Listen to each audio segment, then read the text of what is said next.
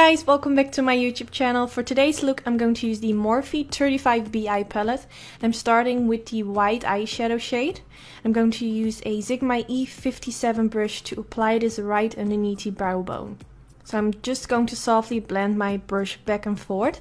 Now I'm going in with this bright pink shade.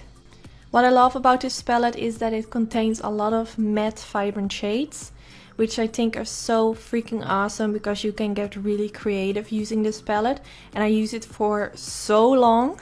Like seriously.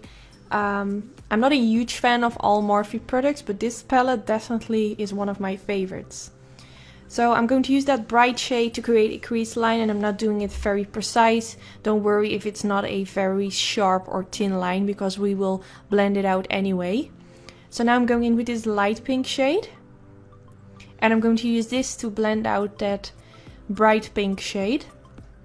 So I'm using a bigger fluffy brush by Makeup Geek. I'm just going around the edges and this will basically be my transition shade.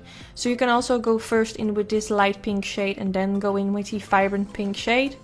But I'm also going slightly on top of the crease line to make it already a little bit softer. So now I'm going back in with that vibrant pink shade because I have sort of blended everything out and I really want that pink shade to pop in my crease so that's why I'm going back in.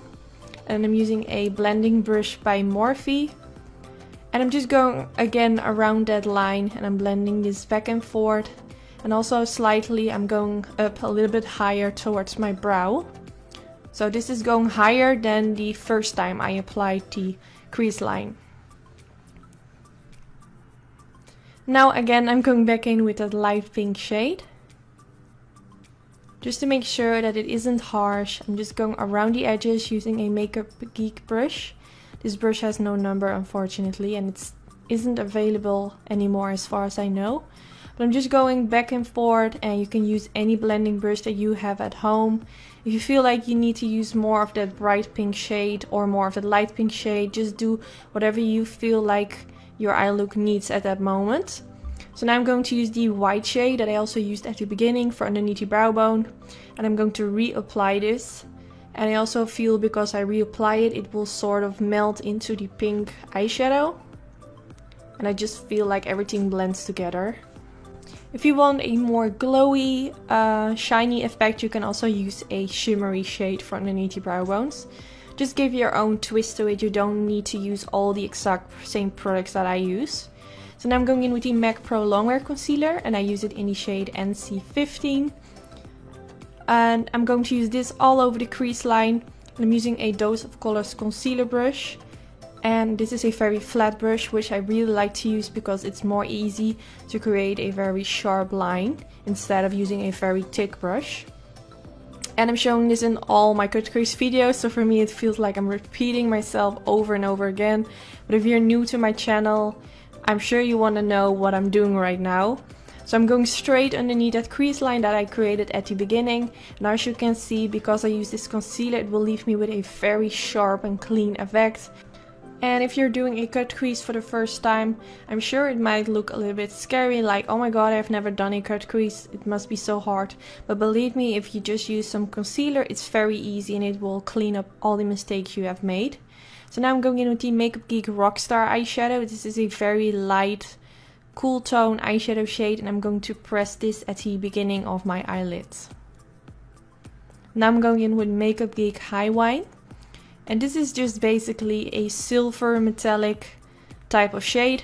When I created this eye look, I already knew that I was going for a silvery, glittery eyelid. So whenever I apply glitter on the eyelids, I always want to go in with a shimmery shade right underneath it.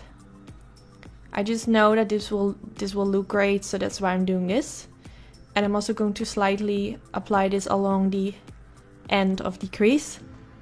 Now to make the glitter stick I'm using the MAC Mixing Medium Gel and the silver glitters that I'm using today are by the brand RXI and they are so pretty and they, the glitters that they sell are very fine. Um, they are not very like uh, thick consistency, they are just very fine glitters. So they're really easy to work with and I think they have a very pretty reflex it's just so gorgeous. I mean, every time I do a glitter look, I just love it and I want to do it every time. But of course, I need to do something different now and then. Um, but I'm just going to press this all over the eyelids and also along the end of my cut crease. Along the winged end, if you know what I mean. So make sure that you have enough of that mixing medium gel on top of it so it stays in place and it's not going to stick on your crease. For my eyeliner I use the NYC liquid line, I skipped that part because I show it in all my videos. And for the waterline I'm going to use the Suiva black eye pencil. And since I'm go I went for a very thick black eyeliner, I wanted to use some black for the waterline and underneath the lower lash line to make it connect with the wing and to create a more of a smoky effect. So I'm just going to blend this in the waterline. Now I'm going to use the black eyeshadow shade from the Morphe 35B eye palette. And I'm going to softly blend and press this right underneath the lower lash line. Also softly applying this on top of the waterline. Don't do this if you have or wearing contacts because it might get in your eyes and then I'm not sure but I'm sure it will not feel comfortable.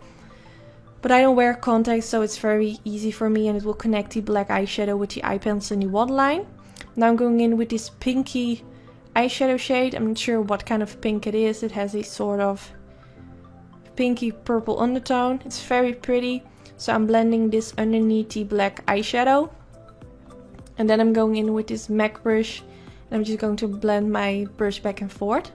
for my lashes I use sultry lashes from my own lash company Anytude. They're so pretty and they are back in stock. I will link down in the description bar a discount code that you can use yes, this is already the end of the tutorial. I really hope you enjoyed watching.